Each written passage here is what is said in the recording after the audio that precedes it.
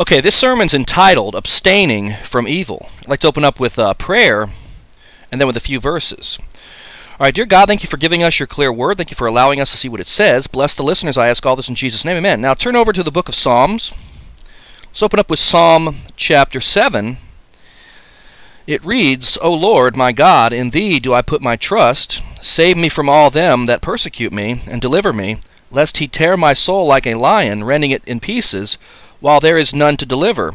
O Lord my God, if I have done this, if there be iniquity in my hands, if I have rewarded evil unto him that was at that was at peace with me, yea, I have delivered him that without cause is mine enemy.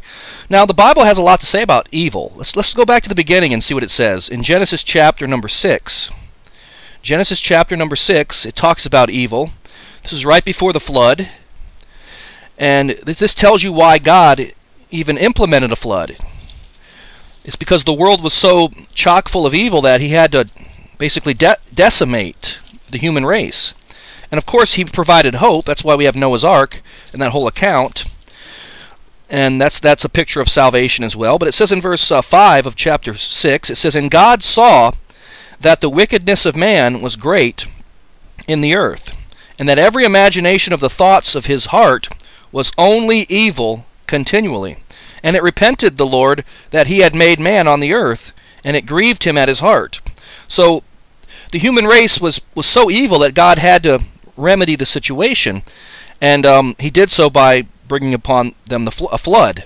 The, you know, and that's why we have um, Noah's Ark, and of course the rainbow comes into play, letting people know that he, he'll never send an, another flood. But my point is, people are wicked, people are evil, and that's why we need to understand what the Bible has to say about this. Let's turn over to Romans chapter 13. This tells us why we need to stay away from evil. Romans chapter 13, and let's take a look at verse 4. I'll start off with verse 1, and then we'll, we'll stop at verse 4. It reads,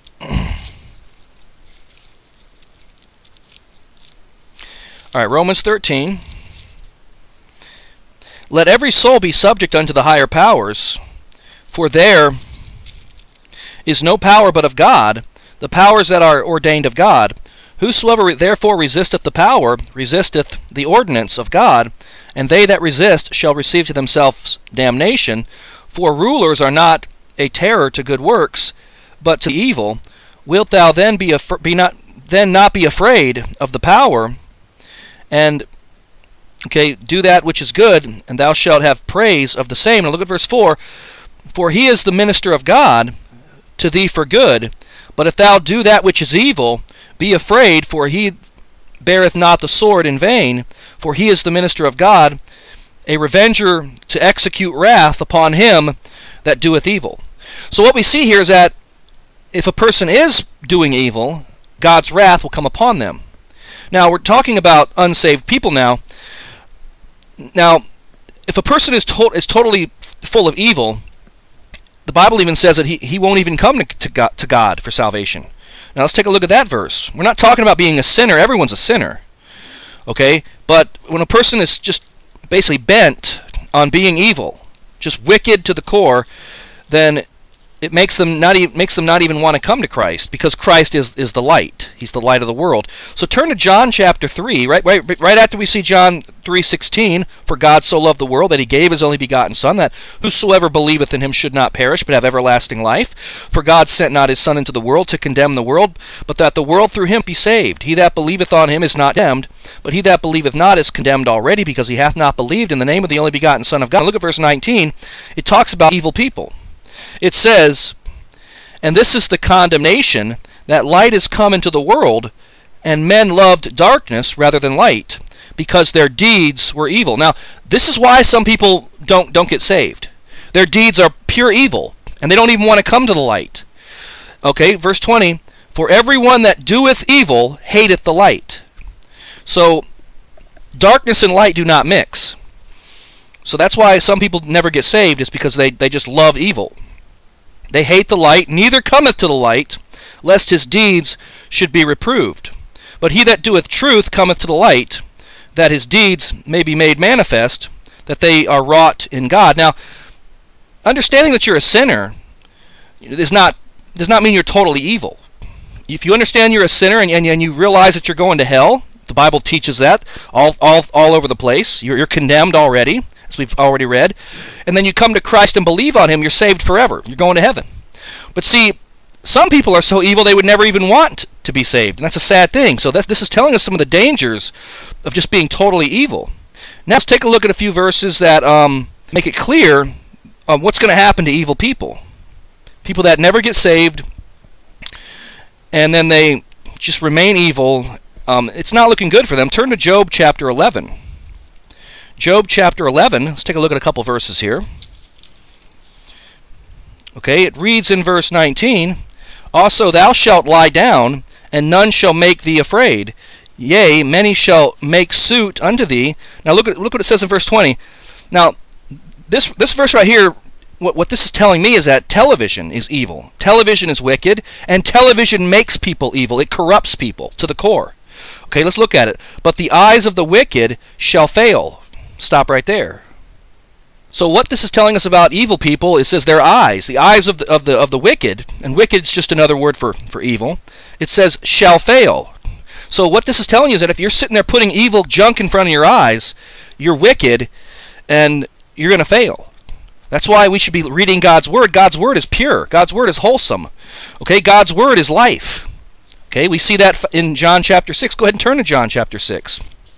This is the solution to this problem, is getting into God's Word. John chapter 6, hold your place in Job chapter 11. And let's turn it to John chapter 6 one of the ways to get rid of evil is to get into the Word. Okay, let's take a look at verse 63. It says, It is the Spirit that quickeneth, the flesh profiteth nothing. The words that I speak unto you, they are spirit and they are life. The words that I speak unto you, they're, they're God's words. So, if you want to get away from evil, you need to get into the Word of God. Because this is, this is life. See, evil is associated with death. Evil is associated with, with, with killing, murder, wickedness, vileness you know, just demonic activity, satanic, you know, things. The words of life are completely oppose evil. So that's why we need we need God's word. So now let's go let's go back to that verse, but the eyes of the wicked shall fail, and they shall not escape. So evildoers are not going to escape God's wrath. We think of people like Hitler and Stalin, these mass murderers and all these wicked, depraved, reprobate people out there. We think they're just getting they just got away with it. No, they didn't get away with anything. They're burning in hell right now, and people like that, terrorists or whatever, they're going they're not going to escape God's wrath. So we don't need to worry about what's going to happen to these people. They're going to get what they deserve. Okay? Now, let's keep reading. And their hope shall be as the giving up of the ghost. What does that tell you? They have no hope people that are lost, people that reject God's word, people that reject the grace of God, people that reject salvation, they've got no hope. They've got the hope of giving up the ghost. That means all the only hope they have is death. So that tells you something about, about evil people right there. Now, let's take a look at a few verses that tell us to stay away from, from the appearance of evil. Not just evil, but the appearance of evil. Okay, turn to 1 Thessalonians chapter um, 5. 1 Thessalonians chapter 5 we see a whole list of different things here. I think about like the word Bible means basic instructions before leaving earth. B I B L E. Now, there are lots of chapters in the scripture where you get basic instructions on how to live. Romans chapter 12 is a good example. You have all these epistles in, in the New Testament where they're divided in two different ways. Number one, Ephesians and Colossians are divided the same way. The first three chapters in Ephesians tell you all about God's grace. The last three chapters tell you how you should respond to God's grace by serving God and abstaining from evil and whatnot. And then Colossians is the same thing. It talks about God's grace. You know, it talks about all our sins have been forgiven in Colossians. And then the latter two chapters, it tells you how you should respond. So what we what we see are outlines on how to live, how to live the Christian life. This is very important. See, we're saved by grace. And that's why after we're saved, we should be living a Christian life. See, I despise lordship salvation, but I don't because that's damn that's damnable heresy. But I'm I'm all for lordship fellowship, lordship discipleship, Lord making Christ the Lord of your life after you're saved. It's it's the, it's what the Bible teaches. Because you don't have to make him Lord of your life to be saved. That's garbage. But making him Lord of your life after you're saved, fighting away sin, fighting away evil and temptation, is it's, it's biblical. But see, in order to do this, we had to have instructions. So the Bible gives us some instructions here. In 1 Thessalonians chapter 5, it tells us several things to do. Let's start off with verse 14. It says, Now we exhort you, brethren, warn them that are unruly. So evil people out there need to be warned.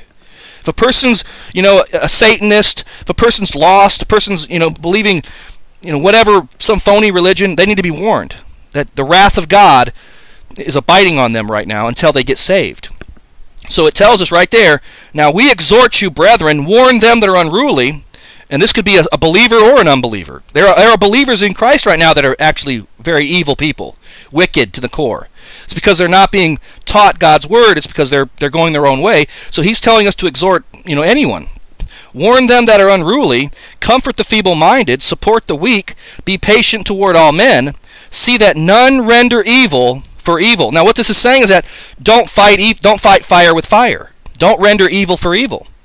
Okay? Unto any man, but ever follow that which is good, okay, both among yourselves and to all men. So the Bible tells us right there, follow that which is good. Okay, if you go back to Philippians, it gives us a whole list of different things that we should be doing and we what we should be focused on. And let's go ahead and look at that list. Now we're not going we're not done with this this portion. We're going to continue reading here. But jump back to Philippians chapter 4 and let's look at the list. And everything on this list is the opposite of evil. It says in verse 8, Finally, brethren, whatsoever things are true, whatsoever things are honest, whatsoever things are, are just, whatsoever things are pure, whatsoever things are lovely, whatsoever things are of good report, if there be any virtue, and if there be any praise, think on those things. This tells us not to be focused on evil things. We shouldn't go read a book about, you know, some, some depraved event in history. We shouldn't be reading books about evil people, evil men, evil dictators. We should be focused on the things that are of good report. Okay, verse 9 Those things which ye have both learned and received and heard and seen in me, do, and the God of peace shall be with you. So this is an issue of having peace with God. Okay, now turn turn back to 1 Thessalonians chapter 5. It says in verse 16, right after we, you know, verse 15 says, Render not evil for evil. Verse 16 says, Rejoice evermore. We should be giving God praise that he, that he has saved us. And we should be giving him praise, period. Because that's why he put us here, is number one, to be saved by his grace, and then number two, to serve him in this lifetime and to rejoice. We're, we're put here you know, to worship God. Okay, now, verse 17, pray without ceasing. This is an outline for how, how we should live the Christian life. Pray without ceasing, and everything give thanks, for this is the will of God in Christ Jesus concerning you. Quench not the spirit, Okay, every every believer has the Holy Spirit inside them. You quench the Holy Spirit by like watching TV or doing something, you know, that's totally, you know, risque or totally just off, you know, offbeat, off the wall. Listening to some some garbage music that would quench the spirit. A lot of things would quench the spirit, but he's telling us here not to. Finally, despise not prophesying. Now this is key. One of the ways to fight off evil or to abstain from evil is to get into the get into the Word of God and listen to sermons. Despise not prophesying means it's not talking about a prophecy. It's talking about a, you know a preacher sermon. Despise not sermons. Despise not prophesyings. Okay, prove all things. Hold fast that which is good. So he's telling us if something's good, if something's wholesome, we should hold fast to it. Hold fast means hold strong. Okay? Now, finally, abstain from all appearance of evil. So if something appears to be evil, we should abstain from it as well. So this is an outline for how the Christians should live their life. And he, he's making it very clear. It's just basic things. Now, what do we do about evil? Ultimately, what do we do about it is we, um, let's turn back to Romans and I'll tell you. I mean, Christians should hate evil. The Bible talks about that. Let me go ahead and find one verse that makes that clear, that we should hate evil. So hang on one second. Psalm 97, verse 10 tells us, let's back it up one verse, For thou, Lord, art high above all the earth. Thou art exalted far above all gods. So God is the total opposite of evil. Okay? Now, that's why we should be praising God and exalting Him. Now, verse 10 says, Ye that love the Lord, and we're commanded to love God. Okay? After we're saved, of course. You can't love God if you're not saved, and that's another issue. Now, people that are lost, they love a false God. Okay? They love their own God that they made up, but that's another issue. But, but ye that love the Lord hate evil.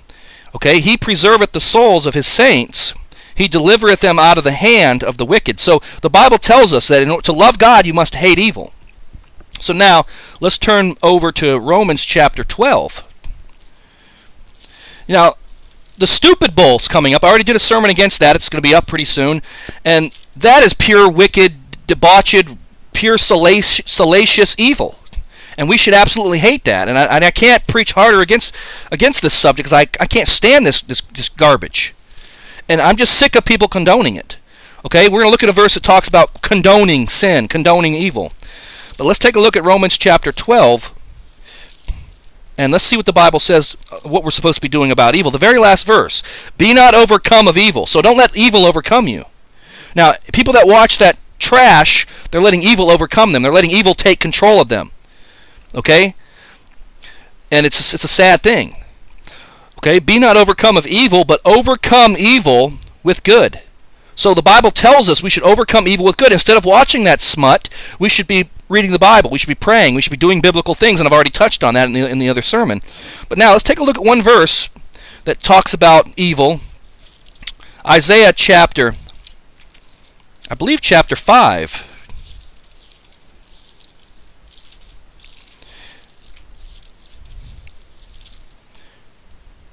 Isaiah chapter 5, I believe this verse is in here, Okay, Isaiah chapter 5, it says in verse 20, Woe unto them that call evil good. There are people out there that actually call evil things good. Okay, and, and the Bible says, Woe unto them. Okay, this is a serious issue. And good evil. So anyone who's going to say that the Super Bowl or things like that, television, it's okay. The Bible says, Woe unto you. You're, you're taking something that's evil and you're deeming it or subsuming it as being good. Now, the word subsumed means to falsely categorize. Okay? That's what it means, and that's exactly what people are doing. So, woe unto them that call evil good and good evil, that put darkness for light and light for darkness, that put bitter for sweet and sweet for bitter. Okay? Woe unto them that are wise in their own eyes and prudent in their own sight. So, we should be abstaining from evil. We should hate evil. We should fight against evil. And there's a verse I want to there's another, one more verse I want to look at that tells us about fighting evil. So let me let me um, grab my notes. Hang on one second. All right, turn over to 2 Corinthians chapter 10. See, as Christians, we should be fighting evil. All this garbage that takes place in this world, you know, this homosexuality garbage, all this all this junk. And we should be fighting against it. We should hate it, and we should we should fight against atheism. That's straight out of the pits of hell, is where that is, where that comes from. And we should fight all all forms of evil. Now it tells us right here that we can fight it off. It says in verse um, chapter number 10, verse 5, casting down imaginations and every high thing that exalteth itself against the knowledge of God. So anything that's going to come against the knowledge of God is evil. Anything you put in front of God that's not God is, is an idol. And it says in 1 John 5, you know, keep yourselves from idols, talking about believers. Okay, now let's keep reading casting down imaginations and every high thing that exalteth itself against the knowledge of God, and bringing into captivity every thought to the obedience of Christ, and having in a readiness to revenge all disobedience when you when your obedience is fulfilled. So whenever your obedience is fulfilled, you, that's when you can come against all forms of disobedience. So that's what the Bible tells us. It says to revenge. In other words, we can do something about it. We don't have to let this this this garbage you know, prevail. We don't have to let Satan win. Okay, Satan is the source of all this evil. And we know there's a hell because of evil. We know we, we know it exists, and that's why we know evil evil lost people that are that are unsaved are going to hell. So let's take a look at one more verse that makes it very clear that you know evil is in this world. It's it's very extant and it's it's going to be it's going to be dealt with you know in the end. Philippians chapter 1, it says in verse 28, And in nothing, terrified by your adversaries, which is to which is to them an evident token of perdition. Now perdition means destruction. Perdition is another word for hell. So the fact that we have terrorists out there, we have people that are God's adversaries, lets us know there's a hell. It lets us know that that's what that's what the word token means. The word token means sign or an omen, like a presageful indication or a prognostication. It's, it's telling us that, that this is real. We know there's a, there's a hell because the evildoers of this earth have made it clear. They've made it an evident so it's an obvious token of perdition, but to you, salvation and that of God. So evil is out there. We need to abstain from it because evil is going to corrupt people. And the way we get rid of it, number one, we get into the Word of God. We fight it off with God's Word. Because God's Word is pure, we have to have something pure to get rid of evil. So that's all I have. If a person's not saved who's listening to this, let me just go over the, the plan of salvation real quick because it's necessary that we, we constantly give the gospel out because there's a lot of evil gospels out there. There's a lot of evil messages. You know, good tidings, evil tidings, bad tidings. Well, the good news is that Jesus Christ ultimately defeated evil. Death, hell, the grave, sin, all of it defeated. He took upon himself the sins of the whole world. Okay? He died he died for every human being alive. And the Bible says he is the propitiation for our sins, and not for ours only, but also for the sins of the whole. Of course, if you're a Calvinist, you're evil as hell, and you're wicked, and you don't believe in the real God. You believe in an evil God. But the real God of the Bible, you know, Jesus, you know, sent Jesus Christ to die for all sins, everyone, every sinner. And the, the Bible says that we need to receive salvation. Salvation's a gift. And salvation is of the Lord. That's why it says, in that of God, to use salvation and that of God. So salvation is what God has done for us. God saves the sinner completely without our help. And the Bible says, believe on the Lord Jesus Christ and thou shalt be saved. So it's, it's very simple. You believe on Jesus Christ and you're saved forever. John 3:15 that whosoever believeth in him should not perish but have eternal life. Once you believe on Christ, you're saved and you have eternal security. And it's called once saved always saved. And the reason people don't agree with this teaching is because they think if you're if you are once saved, always saved, you'll go out and live an, ev an evil life. You'll be wicked and you'll just live like the devil. Well, that may be, but if, if you are saved, you're going to be chastised by God. God is your father, and you're his child, and you're going to be you're going to be disciplined and chastised by God. So that doesn't work. That's just a, a false accusation that people try to rail against the eternal security proponents. But eternal security is 100% true. The Bible says, "I give unto them eternal life, and they shall never perish; neither shall any neither shall any man pluck them out of my hand." Once you're saved, you're saved forever. It's, it's not temporary life. People that teach this are evil. People that teach you can lose your salvation are wicked as hell. People that teach you can prove you never had it are wicked as hell. People that teach you got to persevere to the end, they're evil, they're wicked, they're devils, they're demonic, they're reprobates. So yes, there are evil teachings out there that are, just just we need to get rid of those as well. We need to abstain from those as well. So no, salvation is all by grace through faith alone in Christ alone. The moment you believe on Christ, you're saved instantaneously. It's not continual or progressive. It's an instantaneous. God saves you once and for all. All your sin, your sins have been removed. All your sins have been paid for. The blood of Jesus Christ cleanseth us from all sin. So you're saved forever, going to heaven, and that's what the Bible teaches. But after we're saved, we should be fighting against evil fighting against all the perverted gospels out there, fighting against all these wicked ministers of Satan that are teaching works salvation, Calvinism, Arminianism, lordship, all that stuff's evil, and then we should fight against you know the evils of this world as well. You know, people that are pro pro pro-choice, they're evil, they're wicked, and we should fight against false religions, and we should fight against anything out there that that comes against God. Okay, so that's all I have, and we we overcome evil with good because you can't fight fire with fire.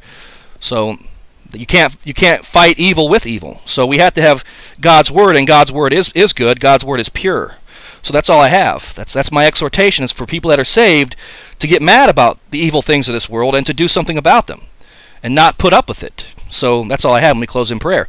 Dear God, thank you for giving us your clear word. Thank you for allowing us to see what it says. I just pray that you'll allow people to understand the truth of Ephesians chapter 5, where it says, you know, neither filthiness, nor foolish talking, nor jesting, which are not convenient, but rather giving of thanks. We should be putting those things away. Those things are, are evil, and we should be um, we should have no fellowship with the unfruitful works of darkness, but rather reprove them. And I just pray that you'll allow us to put this into effect and help us to grow, help us to continue in our walk and continue to, to share the gospel with people. I ask all this in Jesus' name. Bless the listeners. I ask all this in Jesus' name. Amen.